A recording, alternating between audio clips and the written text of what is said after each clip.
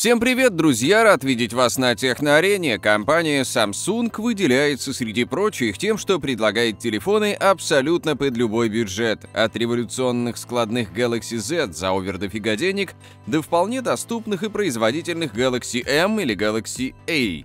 Как раз сегодня мы сравним новые среднебюджетные Samsung A52 и Samsung A72. Битва смартфонов будет состоять из нескольких раундов. Дизайн, экран, интерфейс, камеры, производительность, коммуникация и аккумулятор. В каждом из них я постараюсь ответить на все интересующие вас вопросы. Напомню, что подробные технические характеристики и выгодные цены на Galaxy A52 и Galaxy A72 можно найти по ссылкам в описании видео. Любые свои замечания и пожелания оставляйте, пожалуйста, в комментариях. Также обязательно поддерживайте Техноарену подпиской, ставьте лайк и жмите на бубенчик. Приятного просмотра! Вообще, вся серия смартфонов Galaxy A имеет приблизительно одинаковые дизайны, в особенности модели A52 и A72 похожи как две капли воды, если не считать маленькую разницу в габаритах. Старший A72 на полсантиметра длиннее и на пару граммов тяжелее, очень большой телефон, физически даже крупнее некоторых флагманов. Требует глубоких карманов и как минимум двух рук для нормального использования. Но в минусы я это не запишу, так как A52 тоже здоровяк. Оба смартфона получили практичный пластиковый корпус. Может, не такой премиальный на вид, но зато надежно держится в руке. Да и для Samsung это не та ценовая категория, чтобы разоряться на крышку из стекла или металла. Также телефоны Galaxy A52 и A72 радуют наличием аудиоразъема, поддержкой карт памяти, подэкранным сканером отпечатка пальцев и добротными стереодинамиками. А самый приятный пункт это, конечно же, пылевлагозащита класса IP67. За это многие и полюбили серию Galaxy A. Новые A52 и A72 стали первыми среднебюджетниками Samsung, которые оснащены дисплеем с повышенной герцовкой. Лучше поздно, чем никогда. Конкуренты давно уже предлагают 90 и 120 герцовые экраны даже в более дешевых моделях. По диагонали A52 и A72 различаются всего на 2,10 дюйма, а по другим параметрам у них совершенно идентичные экраны.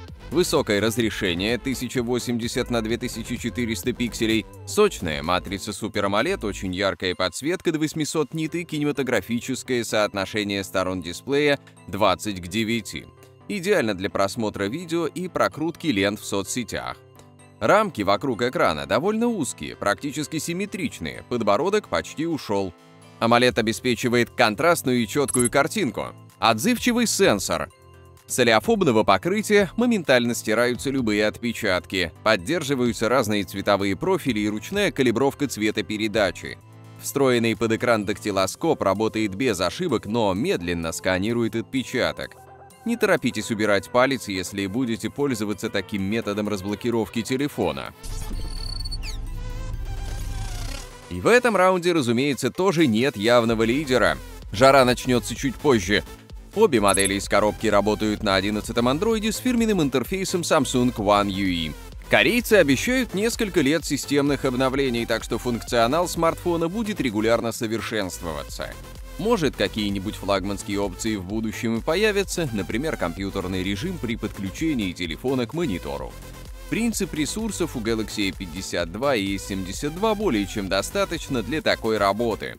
Об особенностях оболочки One UI я могу долго рассказывать. Программисты Samsung придумывают и адаптируют много интересных функций. Вкратце отмечу, что в новой версии One UI разрешили ставить анимированные картинки для украшения информации на выключенном экране, Изменился вид регуляторов громкости, похудели блоки уведомлений в шторке, а пропущенные уведомления теперь сохраняются в общей истории, где их можно просмотреть повторно.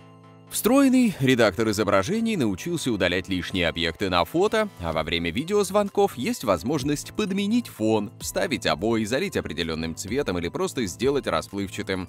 Все подробности об интерфейсе One UI лучше смотрите в отдельных обзорах на эту тему. При сравнении камер мы видим первый значительный разрыв между смартфонами Galaxy A52 и Galaxy A72. Старшая модель имеет преимущество за счет 8-мегапиксельной камеры с телеобъективом, который обеспечивает трикратное оптическое увеличение без потери качества и вплоть до астрономического 30-кратного в цифровом режиме. У младшей модели вместо телекамеры установлен датчик глубины кадра. Остальные инструменты для съемки полностью совпадают. Главная камера на 64 мегапикселя с оптической стабилизацией, сверхширик на 12 мегапикселей, макрокамера и мощная фронталка с разрешением 32 мегапикселя. Причем у Galaxy A72 OptoStab работает и на телекамере. При съемке видео применяется гироскопическая стабилизация, и она активна только в формате Full HD. Для плавных 4К видео придется подыскать ручной стабилизатор. Кстати, я это уже сделал и недавно выложил свой топ лучших стедикамов. А конкретно в обработке изображений на Galaxy A52 и A72, на мой взгляд, нет существенной разницы. Тем более с одинаковыми процессорами. К слову о процессорах. Как ни странно, телефоны базируются на общей платформе Snapdragon 720G. Буду честным, не первой свежести этот чипсет дебютировал аж в январе 2020 и не поддерживает 5G. Ранее его производительность уже можно было испытать на смартфонах вроде Redmi Note 9s и 9 Pro, Realme 6 Pro, Poco M2 Pro, Vivo V20, но, как ни крути, проверенный бюджетный игровой процессор, который не страдает от тротлинга, все равно лучше, чем тормознутый Exynos. Любопытно, что прошлогодний Galaxy A71 летает на чипе Snapdragon 730, поэтому разница между поколениями не настолько сильная, а вот в Galaxy A52 апгрейд произошел уже поприличнее, поскольку его предшественник почти в два раза медленнее из-за чипа Exynos 9611. В данном раунде преимущество Galaxy A72 заключается лишь в том, что он предлагает больше оперативной памяти в начальной конфигурации 6 ГБ, тогда как A52 стартует с 4 ГБ.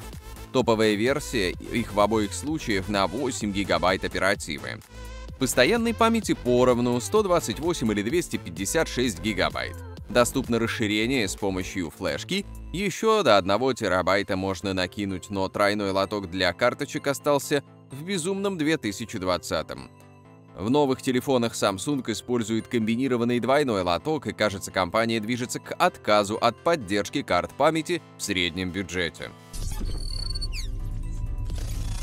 Понятное дело, с беспроводными коммуникациями полный порядок, Мобильный интернет на Galaxy A52 и A72 работает через 4G. Также смартфоны совместимы с Wi-Fi 5 и Bluetooth 5, позволяют осуществлять удобные безналичные платежи через NFC-сервисы Google Pay и Samsung Pay.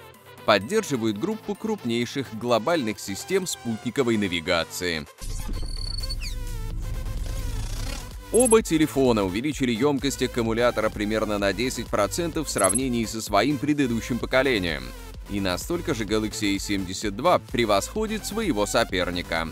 То есть у него батарея на 5000 мАч, а в Galaxy A52 на 4500 мАч.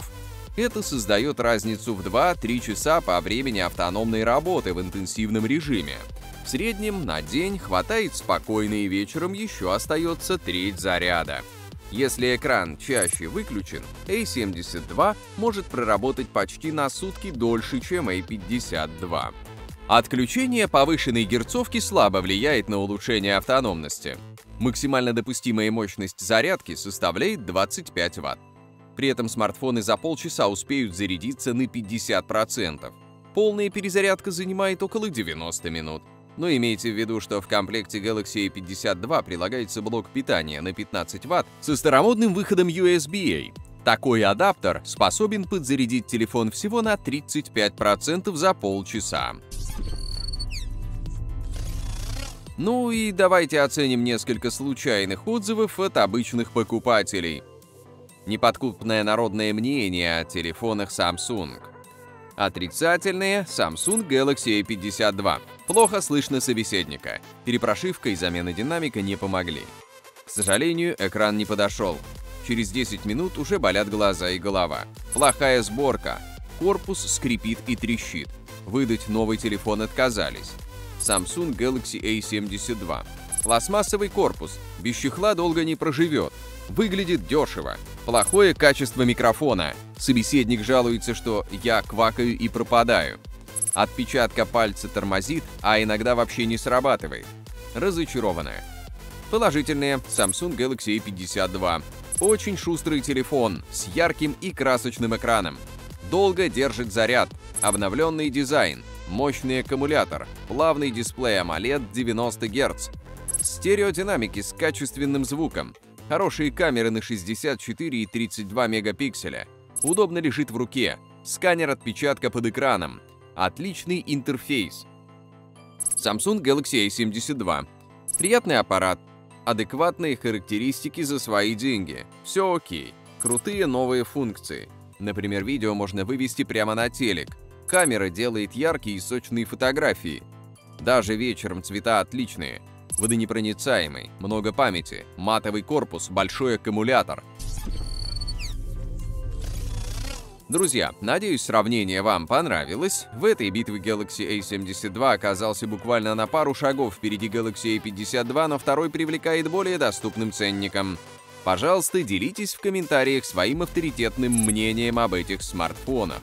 Их подробные характеристики и текущие цены можно уточнить по ссылкам в описании. Не забывайте ставить лайк и подписывайтесь с колокольчиком, если до сих пор не сделали этого. Спасибо за просмотр. Всем всего!